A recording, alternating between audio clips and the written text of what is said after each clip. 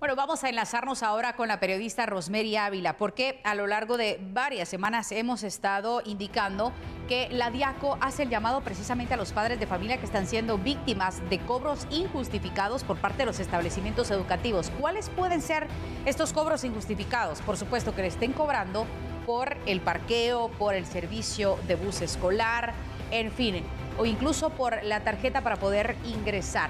Vamos a conocer los detalles. Rosemary Ávila tiene ya la información. Rosemary, vamos contigo. Te escuchamos.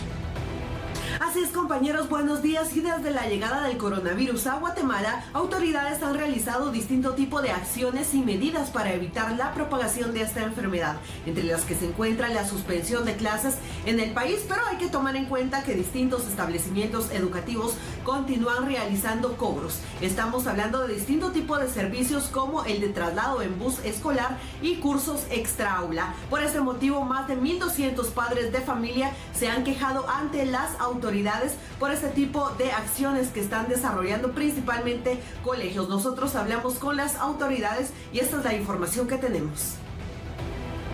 Ha eh, recibido 1.192 quejas por temas de colegios.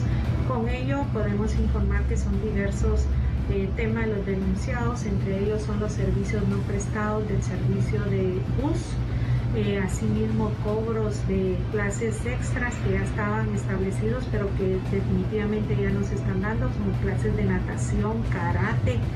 Igualmente hay otro motivo de las denuncias de padres de familia relacionados con temas directamente de cobro de moras e intereses que estos eh, pues son también violatorios al decreto 5-2020 en donde se establece que ningún establecimiento educativo puede cobrar moras e intereses a los padres de familia para y pueden realizar convenios de pago.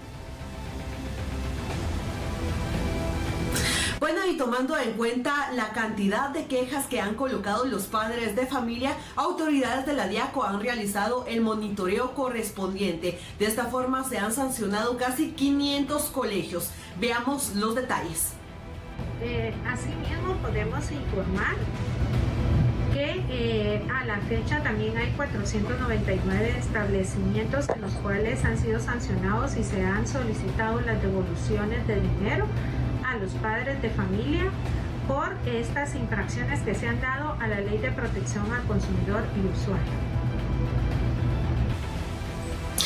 Usted está viviendo una situación similar en la que le están exigiendo cobros escolares, usted puede denunciar al número de teléfono 1544 de la Diaco. También puede hacerlo a través de la página web o por medio de redes sociales. Así que es la información que tengo desde casa y con esto regreso a estudios. Buenos días.